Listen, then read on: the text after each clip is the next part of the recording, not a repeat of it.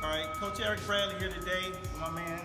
The Wild Prince, you know. All right, so we're about to do a little demonstration on how to materialize a defensive move to set you up for offense out of the Philly shell style, but from a southpaw position. So, as I come right here, I'm gonna show you how to execute being on defense and really blocking the lead right hand and the left hook from a conventional fighter.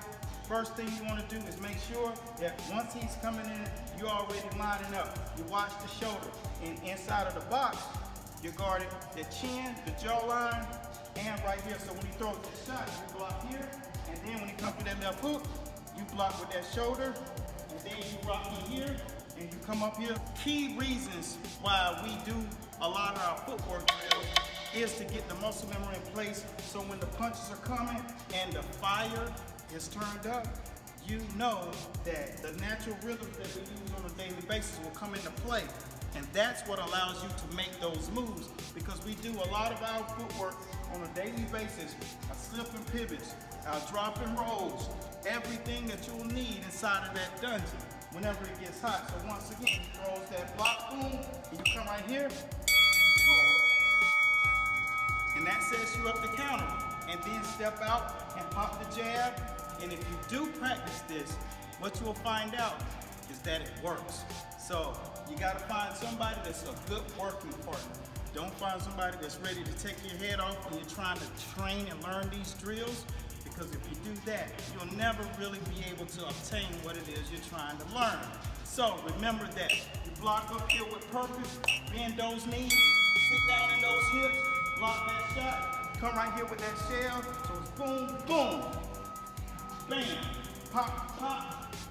And sometimes you might not have your feet in the right place, so you gotta make sure that you're lined up properly.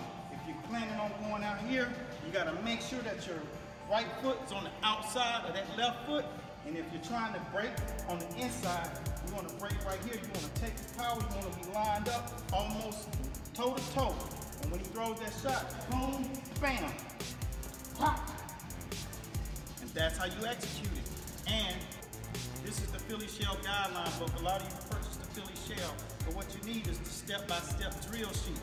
So um, with that being said, George has been doing the Philly Shell for well over a year now, consistently, and his, his, his approach to it is all about the science. He's learned step by step. How long did you work on it without breaking?